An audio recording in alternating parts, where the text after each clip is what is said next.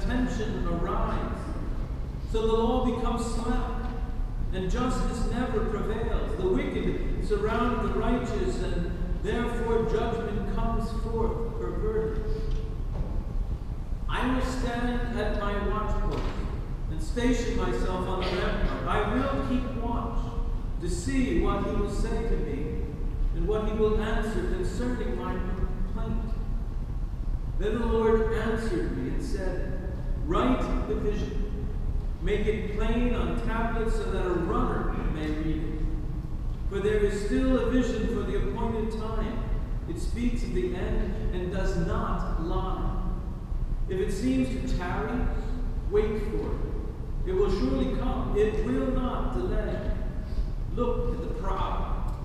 Their spirit is not right in them, but the righteous live by their faith. This is the word of the Lord. Oh, not yet. Wait, we have another one. It is the word of the Lord. The Lord has the Lord. From Luke's Gospel. He entered Jerusalem, Jericho, Jesus, and he was passing through it. And a man there named Zacchaeus, he was a chief tax collector and was rich. He was trying to see who Jesus was, but on account of the crowd, he could not because he was short in stature.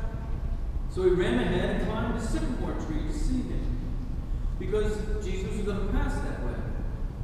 When Jesus came to the place, he looked up and said to him, Zacchaeus, hurry, come down, for I must stay at your house today. So he hurried down and was happy to welcome him. All who saw it began to grumble and said, He is gone to be the guest of one who is a sinner. Zacchaeus stood there and said to the Lord, Look, half of my possessions, Lord, I will give to the poor. And if I have defrauded anyone of anything, I will pay back four times as much. Then Jesus said to him, Today salvation has come to this house because he too is the son of Abraham. For the Son of Man came to seek out and to save the lost. This is the word of the Lord.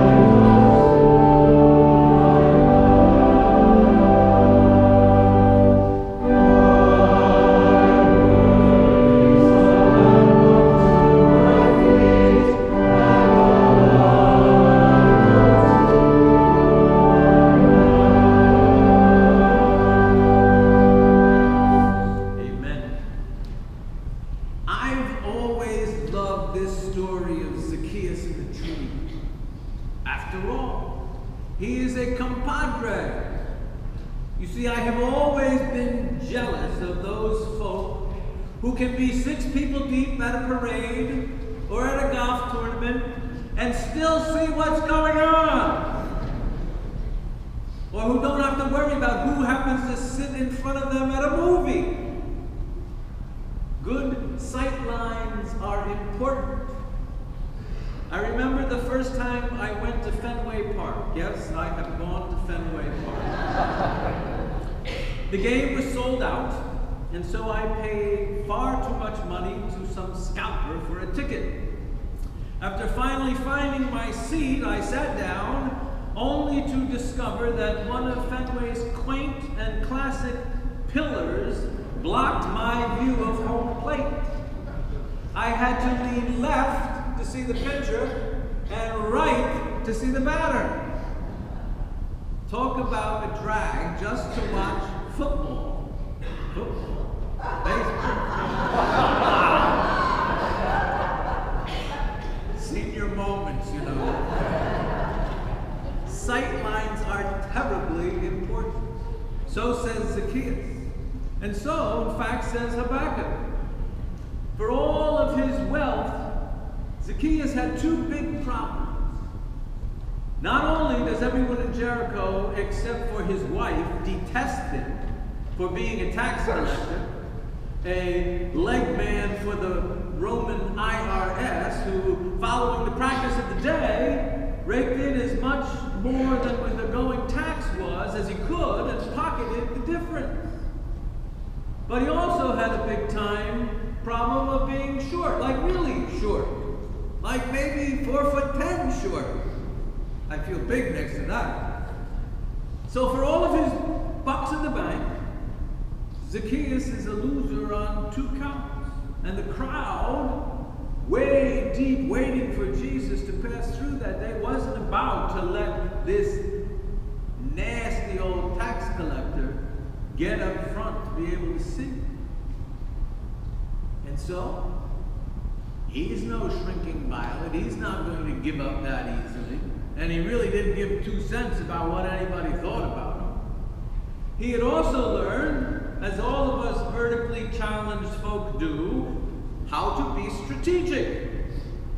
Zacchaeus was bound and determined to get a clear sight line of this Jesus guy. So he runs ahead and climbs a sycamore tree. It really is a ridiculous image. Even today, though, the very rich often have little regard for propriety. They're free to behave eccentrically. When you're rich, you have nothing to prove. Zacchaeus, being a rich man, was free to do something ridiculous climb a tree in order to see this guy. Nothing was going to interfere with his sight line. And finally, the parade gets to him. People are shouting, waving, jumping up and down, reaching out to shake Jesus' hand. It's general pandemonium. Now, if you really want to talk about sight lines, out of a whole mess of the whooping and the hollering people, who is it that Jesus' eyes lock on? But nutty Zacchaeus up in a tree. Jesus stops, looks up at that soft little shyster, and opens his mouth to speak. And I'm sure that all of the Jericho was holding their breath to hear what he's going to say. I'm sure they were thinking, this is going to be good. He's going to give him holy hell. Woe unto you! Repent, you little worm up there. Wise up.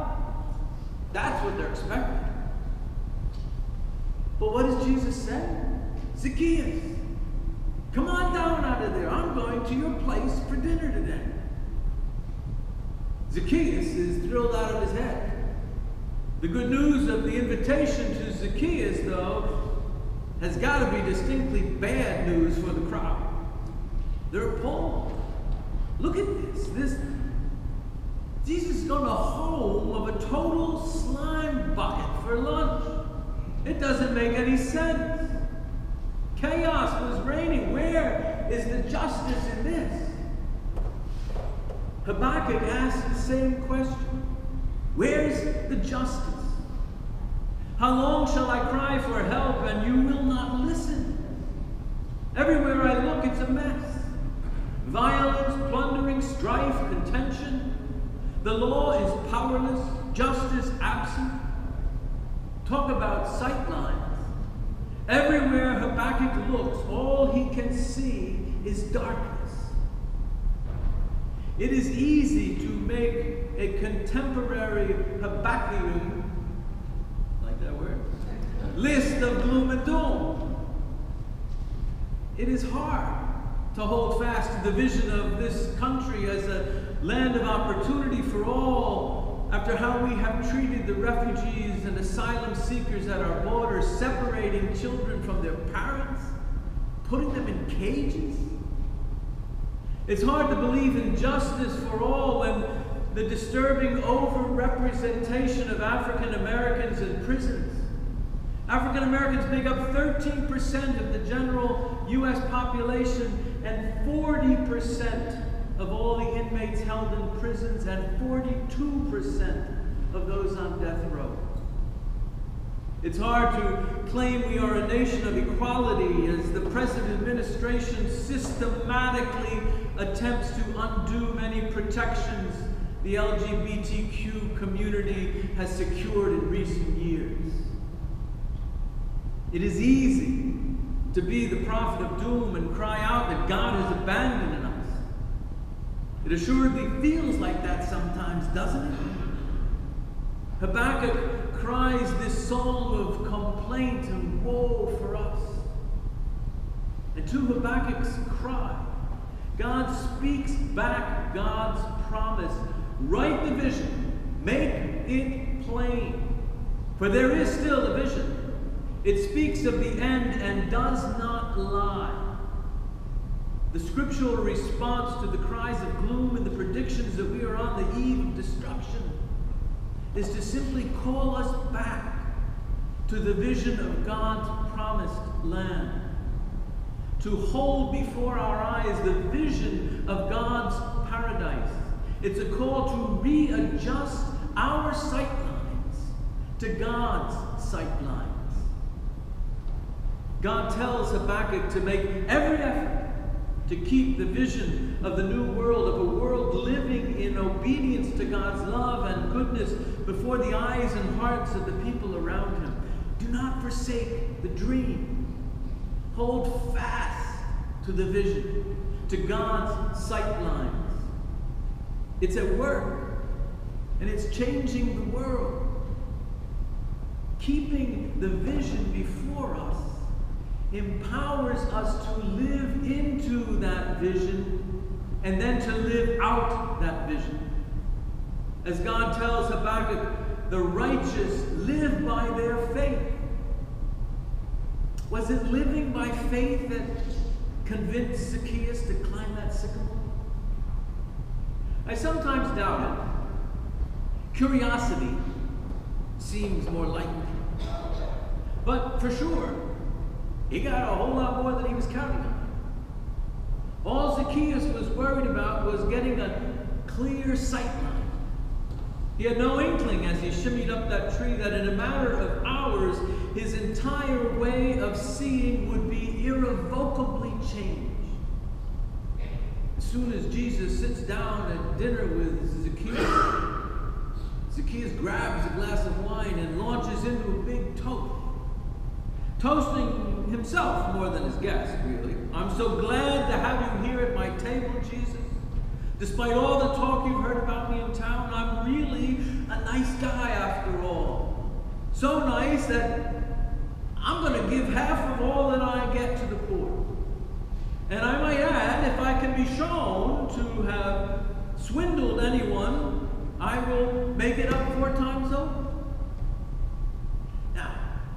At such a magnanimous declaration of righteousness, you might expect Jesus to fall all over Zacchaeus. Tremendous! See, anybody, even a little weasel like Zacchaeus, can become a really nice guy if he's appealed to in the right way. That's why I always make it a practice to go and eat in the homes of sinful little losers like Zacchaeus so I can transform them into good people. But as usual, what we and probably Zacchaeus expects Jesus to say is not what Jesus ends up saying. This little tax collector thinks that thank God he has gotten over all his bad ways and become a really good person. Look at all I'm willing to do to settle my account with God. I'll pay back this, I'll give that. And Jesus blurts out before Zacchaeus even finishes his speech Zach, today salvation has come to this house. For the Son of Man came to seek and to save the lost, not the found. Did you say lost? And the little man puts down his Waterford crystal wine glass next to his gold rimmed English bone china and ponders his real situation. Jesus has brought Zacchaeus off his high perch of presumed goodness and put him back down on the only place where he can truly receive Jesus into his house or heart as one of the lost, the least, the very little. I save, says Jesus, only the lost. Little Zacchaeus, attempting to stand on the ladder of his own goodness, to get up to God's level through his own means, can't do it. Nor can we. Instead, Zacchaeus is raised up by a judge who loves to raise the dead and to find the lost and to save the condemned and to eat and drink with sinners. Zacchaeus, clutching his newfound good works and noble virtues, will sink like a stone in the flood of God's judgment. His only claim to fame is that he is just one more loser in a long history of God's preference for losers. Look, Zach, cool it, will you? I've got no use for all of this man of the year stuff.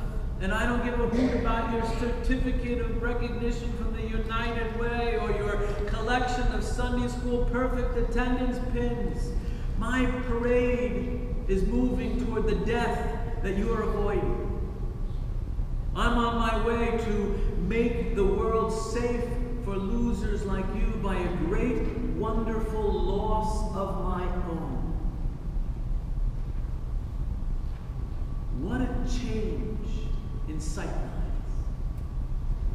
Zacchaeus started that day thinking that the most wonderful thing was going to be able to get a clear look at this Jesus during the parade. And then the most wonderful thing becomes having Jesus to his house for dinner.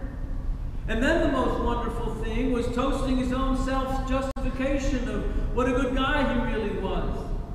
But in the end, the most wonderful thing became Jesus' pronouncement of salvation, not for his industriousness in climbing the tree, not for his supposed generosity of giving, not for a delicious dinner, but because salvation was exactly why God sent Jesus to earth.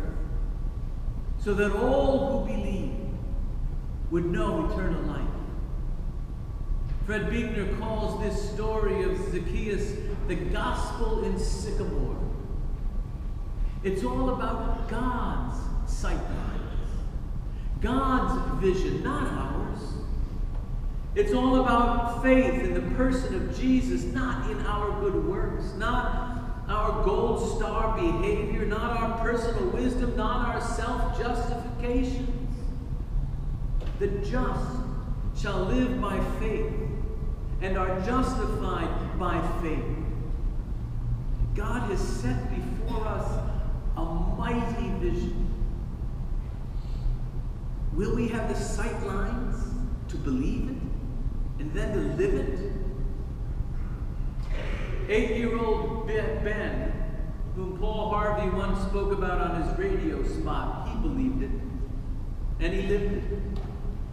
It seems that Ben had won a contest at his local McDonald's, and the prize was a brand new bike. Everyone in the store was congratulating him on his good fortune. But Ben told his parents that he really already had a bike. He didn't need two. So he gave the new bike to a classmate who lived up the street and who didn't have a bike. And who, due to family medical bills, wasn't likely to have one for a very long time. Now, as Harvey would say, here's the rest of the story.